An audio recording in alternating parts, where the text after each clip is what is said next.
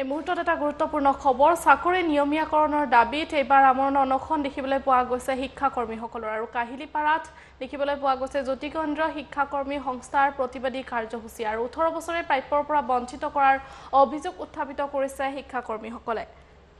আৰু চাকৰি নিয়মীয়াকৰণৰ দাবীত আমৰণ অনশন কাহিলীপাৰাত কাহিলীপাৰাৰ সৰ্বশিক্ষা অভিযান মিছন কাৰ্যালয়ৰ সন্মুখত অনশনত বহিছে শিক্ষাকৰ্মীসকলে। হয় ন্যায় দিয়ক নহয় মাৰি পেলাওক দাবীৰে জ্যোতিকেন্দ্ৰ শিক্ষাকৰ্মী সংস্থাৰ প্ৰতিবাদী কাৰ্যসূচী।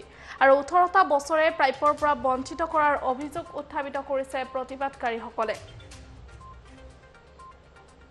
আৰু আজি কাহিলীপাৰা সৰ্বশিক্ষা অভিযান মিছন কাৰ্যালয়ৰ সন্মুখত অনশন কাৰ্যসূচী দেখিবলৈ পোৱা গৈছে। এইসকল শিক্ষাকৰ্মীৰ আৰু ওঠৰ বছৰে প্ৰাপ্যৰ পৰা বঞ্চিত কৰাৰ অভিযোগ আৰু শিক্ষাকৰ্মীসকলক হয় ন্যায় দিয়ক নহ'লে মাৰি পেলাওক দাবীৰে এনেদৰে অনশন কৰা দেখিবলৈ পোৱা গৈছে কাহিলীপাৰাত।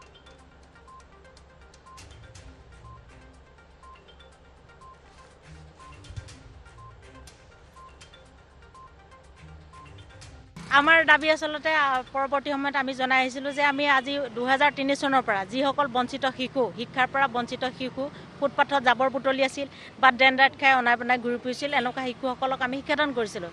আৰু এই দুহেজাৰ তিনি চনৰ পৰা বিগত ওঠৰ বছৰে আমি যি শিক্ষাদান কৰিছিলোঁ তাৰ অভিজ্ঞতাৰ ভিত্তিত আমি বিচাৰিছিলোঁ যে আমাকো এগৰাকী স্থায়ী শিক্ষকৰ মৰ্যাদা দিয়ক।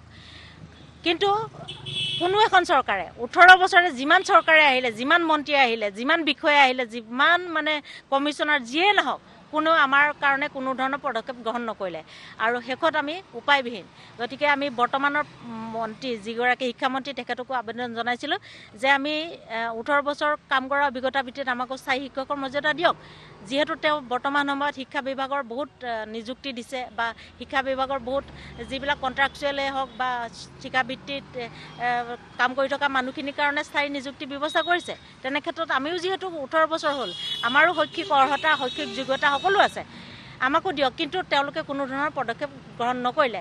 এইকাৰণে আমি যোৱা ঊনৈছ আগষ্টত শেষত এখন চিঠি দিছিলোঁ যে একৈছ তাৰিখৰ সময়সীমা বান্ধি যে আমাৰ ওঠৰ বছৰ শিক্ষাদানৰ অভিজ্ঞতা ভিত্তিত হয় আমাক নিযুক্তি দিয়ক। আৰু যদি আমি পাপ কৰিছোঁ শিক্ষাদান যদি আমাৰ পাপ হয় তেতিয়াহ'লে আমাক মৃত্যুদণ্ড দিয়ক। কিন্তু তেওঁলোকে তাৰো উত্তৰ নিদিলে। পদক্ষেপটো গ্ৰহণ নকৰিলে উত্তৰো আমি নাপালোঁ। এতিয়া আমি কাৰ ওচৰলৈ যাম। যদি মুখ্যমন্ত্ৰীয়ে হওক বা শিক্ষামন্ত্ৰীয়ে হওক আমাৰ কথা নুশুনে বিষয়াসকলেও যদি আমাৰ কথা নুশুনে তেতিয়াহ'লে আমি কাৰ ওচৰত আমাৰ দাবীসমূহ উত্থাপন কৰিম আপোনালোকে কওকচোন? গতিকে আমি উপায়বিহীন। এতিয়া আমি আজিৰ তাৰিখত আজি ইয়াত উপস্থিত হৈছোঁ যিহেতু সৰ্বশিক্ষা অভিযান মিছন আমাৰ জন্মৰ ঘৰ। ঘৰখনৰ সন্মুখলৈ আহিছোঁ। আমি বিচাৰিছোঁ যে ওঠৰ বছৰৰ অভিজ্ঞতাৰ ভিত্তিত আমাক যদি পাপ কৰা বুলি ভাবিছে তেতিয়াহ'লে মৃত্যুদণ্ড দিয়ক আৰু যদি পুণ্য কৰা বুলি ভাবিছে তেতিয়াহ'লে আমাক স্থায়ী নিযুক্তি দিয়ক। আজিৰ তাৰিখত আমি ইয়াৰ যোগেদি এই অনশনৰ যোগেদি সেইটোৱে একমাত্ৰ দাবী যে আমি ওঠৰ বছৰ শিক্ষাদান কৰিলোঁ। গতিকে মাননীয় শিক্ষামন্ত্ৰী মহোদয়ে আমাক প্ৰত্যক্ষভাৱে আজিৰ তাৰিখত তেওঁক আমাক জনাওক আমাৰ কাৰণে তেওঁ কি ব্যৱস্থা হাতত লৈছে বা কি ব্যৱস্থা হাতত ল'ব। আৰু যদি নলয় তেতিয়াহ'লে আমাক এই কামৰ পৰা অব্যাহতি দিয়ক আৰু অব্যাহতি দিয়াৰ লগে লগে আমাক মৃত্যুদণ্ড দিয়ক। আমি প্ৰস্তুত আছোঁ। গতিকে আজিৰ তাৰিখত এই অন্নখনৰ কাৰ্যসূচীৰ দ্বাৰাই সেই বিষয়টোকে আমি জনাবলৈ ইয়াত উপস্থিত হৈছোঁ।